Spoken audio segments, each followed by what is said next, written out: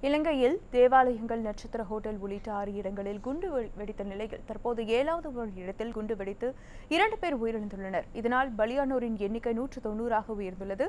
கொழும்புவில் உள்ள புகழ்பெற்ற கொச்சிக்கடை அந்தோனியர் தேவாலயம் மட்டக்களப்பு கட்டுவாப்பிட்டியா தேவாலயம் நீர்கொழும்புவில் உள்ள தேவாலயம் Kingsbury Shangri La Cinnamon Grand ஆகிய நட்சத்திர ஹோட்டல்கள் என ஆறு இடங்களில் அடுத்தடுத்து குண்டுகள் வெடித்துள்ளன. இந்த கொடூர குண்டு வெடிப்பில் பலரது உடல்கள் தூக்கி எறியப்பட்டு இரத்த வெள்ளத்தில் பலியாகினர் தற்போது பலி எண்ணிக்கை நூற்று தொண்ணூறாக உயர்ந்துள்ளது.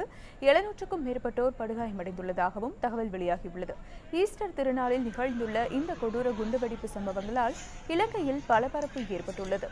இதனிடையே ஏழாவது கொழும்புவில் உள்ள வனவிலங்குகள் சரணாலயம் அருகே உள்ள நட்சத்திர விடுதியில் குண்டு வெடித்ததில் இரண்டு பேர் உயிரிழந்தனர். நாட்டு மக்கள் ஒற்றுமையின் வலிமையை காட்ட வேண்டும் என பிரதமர் ரணில் விக்ரமசிங்கே ட்விட்டரில் கேட்டுக்கொண்டுள்ளார்